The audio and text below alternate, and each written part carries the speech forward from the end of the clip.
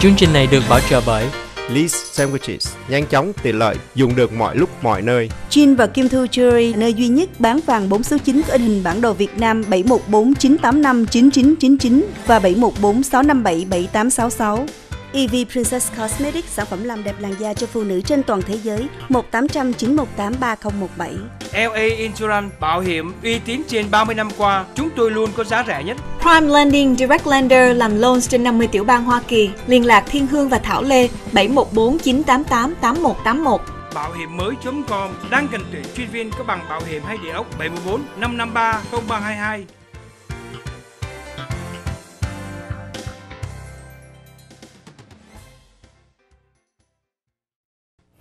Kính thưa quý vị, trong 7 tháng qua dưới sự điều hành của Tổng thống Donald Trump, chính phủ Hoa Kỳ có thể nói đã có nhiều cái biến chuyển và nhiều khi có những lời chỉ trích rất nặng nề với Tổng thống Donald Trump. Nhưng hôm qua thì cuộc tình của Tổng thống Donald Trump với tất cả những vị dân cử của đảng Cộng Hòa cùng với vị dân cử của đảng Dân Chủ đã có những cái sự thay đổi. Lần đầu tiên Tổng thống Donald Trump đã đưa lên một cái rất là kinh ngạc đối với tất cả những nhà lãnh đạo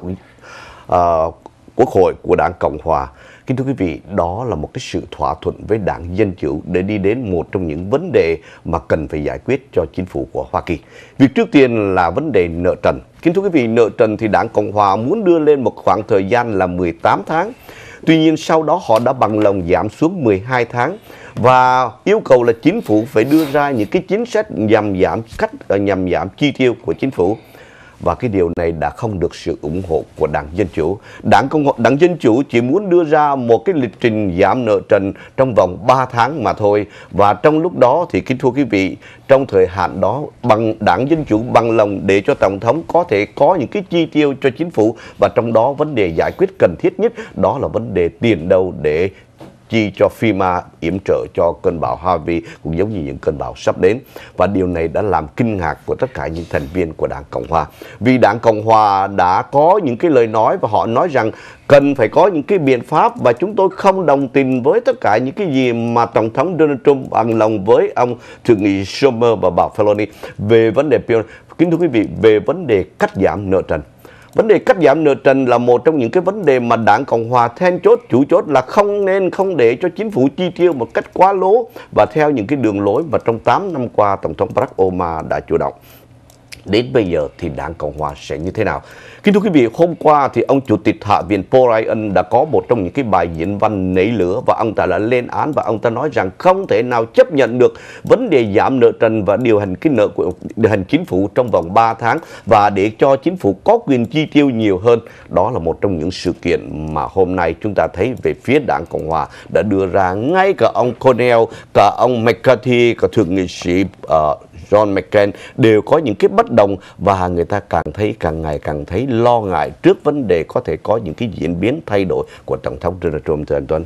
Một trong những sự kiện làm à, giới chính trị bất ngờ đó là sự đồng ý của ông Tổng thống Donald Trump đối với bên phía đảng Dân Chủ khi mà ông đồng ý là sẽ có thêm 3 tháng nữa không đóng cửa chính phủ và gia tăng à, mức tăng nợ trần thưa quý vị. Tuyên bố này được ông Tổng thống Donald Trump à, đưa ra khi mà ông ở trên chiếc máy bay Air Force One. Ông nói rằng à, tôi đã có một trong những cuộc nói chuyện rất là tốt đẹp với à, lãnh đạo của bên phía Thượng viện của đảng Dân Chủ và lãnh đạo Hạ viện của bên phía đảng Dân Chủ và đồng ý sẽ có 3 tháng để tăng mức nợ trần. Trong cùng lúc đó thì ông um, chủ tịch Hạ viện ông Paul Ryan từ bên phía đảng Cộng hòa chỉ trích rằng bên phía đảng Dân chủ đang chơi một cái trò chơi chính trị về chuyện sẽ đưa ra các gói cứu trợ cho nạn nhân bão Harvey và cũng giống như kéo dài thêm 3 tháng. Điều này làm cho giới chính trị người ta không hiểu được cái tình trạng gì đang xảy ra khi mà à, coi như là ông dần dần đã làm bên phía đảng Cộng Hòa cảm thấy rằng không còn đứng bên phe ông nữa. Cái việc làm của Tổng thống Donald Trump giống như một thương gia, một lái buôn Yeah. Ông chỉ cần có những cái lợi cho ông bà gấp tức mà thôi. Vì nếu cái để thời gian một năm thì không có đủ thì giờ để việc trước tiên ông cần phải giải quyết trong cái thời gian có cái sự đồng ý của đảng Dân Chủ trong thời gian 3 tháng. Thì tất cả cái vấn đề mà lo ngại cho đến vấn đề nợ trần, vấn đề mà điều hành ngân sách của chính phủ khỏi phải lo ngại trong một thời gian 3 tháng. Để Quốc hội có đủ thì giờ để tập trung vào vấn đề cải cách thuế, một trong những cái trọng điểm mà ông Tổng thống Donald Trump muốn đưa ra vào lúc này. Và hơn nữa, ông làm nhẹ gánh của ông đi về vấn đề chi tiêu cho FEMA vào lúc này. Nếu ông để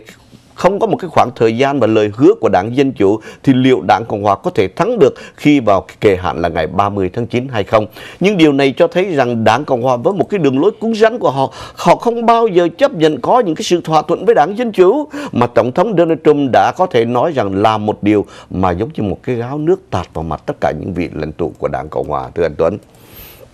Một trong những sự kiện mà người ta nói là một phụ tá của Thượng viện đã nói với CNN rằng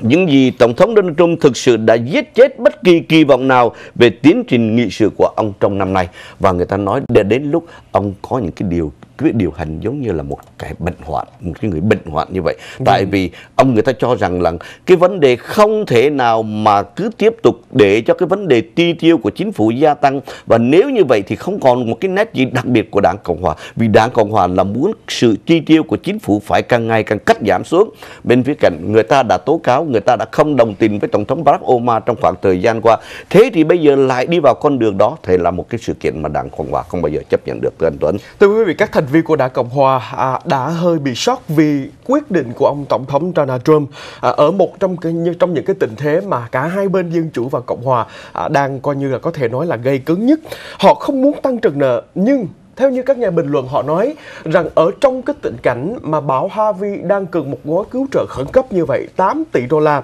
thì liệu các thành viên của bên phía đảng Cộng Hòa có đủ dũng cảm để mà đưa vào bút ký cái chuyện mà không tăng trần nợ của chính phủ hay không, thưa anh? Nhưng mà đến bây giờ thì Tổng thống Donald Trump đưa ra một cái lời tuyên bố là ông đã có một cái thỏa thuận tuyệt vời với thông qua một cái kế hoạch của Thượng nghị sĩ Chuck Schumer và lãnh đạo khối thiểu số tại Hạ viện, đó là bà Nancy Pelosi, đề xuất trong một cái cuộc họp vào sáng thứ tư có sự hiện diện của tất cả các vị, ứng cử quý vị dân cử của đảng Cộng hòa.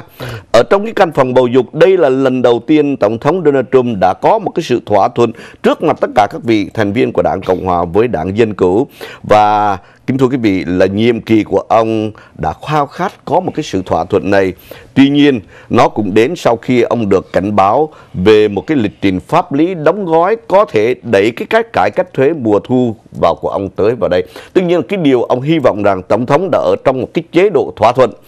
một người của đảng Cộng hòa quen thuộc đã nói với CNN rằng là điều này chứng tỏ rằng ông ta đã có phần nào giống như he sick về trong cái vấn đề này thưa anh Tuấn. Đó là một cái câu nói rất nặng nha anh Tuấn. Mà cho dù thế nào đi chăng nữa, việc mà không đóng cửa chính phủ theo như lời ông George Schumer lãnh đạo à, phe thiểu số ở Thượng viện đó thì ông nói rằng à, chúng ta sẽ không biết được coi như là những hậu quả nào của việc đóng cửa chính phủ đâu thưa quý vị bởi vì à, những cái thiệt hại về kinh tế và cũng giống như những cái thiệt hại cho những người dân sẽ là không thể nào mà kiểm tra nổi. Nhưng vấn đề này đã gây đến một cái sự bất bình là một trong những người mà gọi là điều hành vấn đề tiền bạc của Tổng thống Donald Trump đó là ông Bộ trưởng Tài chính McConnell. Ông Bộ trưởng McConnell đã cũng có mặt trong cái buổi họp này và chính ông hồi trong phiên họp thứ tư cùng với tất cả các lãnh tụ của Đảng Cộng Hòa gồm có Chủ tịch Paul Ryan, uh,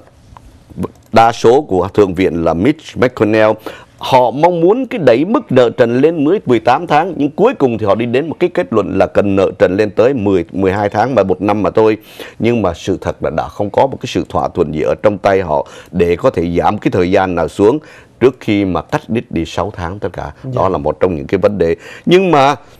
Tóm lại các nhà lãnh đạo dân chủ họ đã bác tất cả các đề nghị này và họ đã đứng vững trong kế hoạch mở rộng 3 tháng mà thôi. Và họ đã công khai công nhận một tuyên bố chung trong cuộc họp báo với Tổng thống Donald Trump về một nguồn tin tóm lược về cuộc họp báo cho biết là ông John McCain, ông McCarthy, ông McConnell và Bộ trưởng kho bạc của Trump là Stephen Mnuchin đã phản ánh về nỗi lo ngại của ông Paul Ryan về cái giới hạn nợ trần và như vậy và cảnh báo sẽ gây ra những cái vấn đề bởi một cái rắc rối bởi một cái giải pháp ngắn ngắn hạn như vậy. Và ngày hôm qua thì trên hệ thống truyền hình quốc gia, ông Paul Ryan đã đưa ra một cái bài diễn văn và ông chê trách tất cả những cái sự kiện mà coi lại là một giải pháp ngắn hạn như vậy, ghi đưa ra những cái tai hại cho cái quốc gia này. Đó là một trong những sự kiện mà có thể nói người ta chú ý đến vấn đề sự lũng củng ở trong phía tư pháp, hành pháp cũng giống như phía lập pháp. Hai bên nó có những cái sự không đồng tình với nhau qua một cái chính sách mà thì giờ rất còn là ngắn ngủi để giải quyết vấn đề này. Quý vị đang cùng với anh Tuấn và đoàn trọng qua cà phê sáng mà chúng tôi trở lại quý vị trong Sofía Coppola.